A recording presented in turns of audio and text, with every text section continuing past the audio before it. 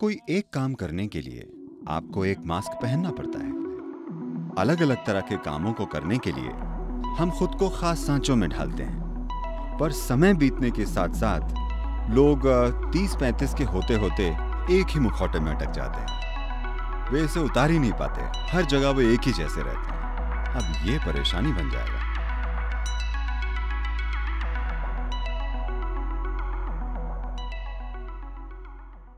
देखिए, व्यक्तिगत पर्सनालिटी इस शब्द को अगर देखें तो यह शब्द बना है मूल रूप से परसोना से। परसोना यानी आपका मास्क कोई एक काम करने के लिए आपको एक मास्क पहनना पड़ता है। अभी आप एक खिलाड़ी हैं। जब आप खेल के मैदान में होती हैं, तब आप एक तरह का मास्क पहनती हैं, जो कि ज़रूरी है। वो मास्क आक्रामक होना चाहिए। अगर ज़रूरी हो तो विरोधी में डर जगाने वाला, जैसी ज़रूरत हो। जो भी हो, आपको उस तरह का मास्क पहनना चाहिए। आप ऐसा मास्क घर पर नहीं पहनते। आप ऐसा मास्क अपने दोस्तों के बीच में नहीं पहनते। क्योंकि मास्क वही होता है, जिसे अपनी मर्ज़ी से पहना और उतारा जा सके। पर, पर्सनैलिटी का यही मतलब है। अलग अलग तरह के कामों को करने के लिए हम खुद को खास सांचों में ढालते हैं। पर समय बीतने के साथ साथ लोग तीस पैंतीस के होते होते एक ही मुखौटे में अटक जाते हैं। वे इसे उतार ही नहीं पाते। हर जगह वे एक ही जैसे रहते हैं। अब ये परेशानी बन जाएगा। अगर आप किसी बच्चे और एक बड़े व्यक्ति को देखें, जब वे पाँच या छह साल के थे, तब उनके चेहरे कुछ ऐसे थे।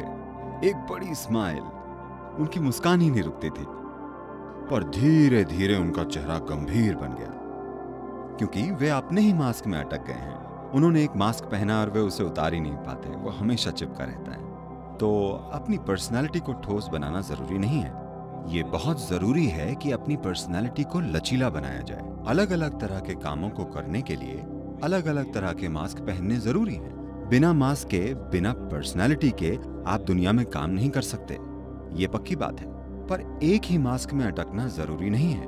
आप एक बिल्कुल अलग व्यक्ति बन सकते हैं, जैसी परिस्थिति की मांग है। तब जाकर आप खुद को पूरी तरह से प्रकट कर पाएँगे, वरना आप खुद के ही बनाए हुए ढांचे में अटक जाएँगे। ये आपकी ही बनाई जेल है जिसमें आप फंस गए अगर कोई आपको बंदी बनाता है तो ये दुर्भाग्यपूर्ण है, पर बात समझी जा सकती है। पर खुद को बंदी बनाने से बड़ी मूर्खता नहीं हो सकती। पर अधिकतर समय 90 प्रतिशत लोगों के साथ यही हो रहा है। ये बात लोगों के सही या गलत होने की नहीं है। बस इतना है कि हर इंसान अपनी समझ और बुद्धि के अनुसार जीवन को समझकर काम कर रहा है और जी रहा है। हर कोई जीवन को एक ही हद तक समझकर जीवन का बोध नहीं पा सकता। अगर आप देख पाए तो देखेंगे कि लोग अपनी सीमाओं की वजह से वैसे हैं जैसे वे हैं। तो आप उनके सही, गलत, अच्छे, बुरे वगैरह के बारे में फैसला सुनाने के बजाय उनकी सीमाओं को तोड़ने का प्रयास करें अलग अलग तरह के लोग हैं।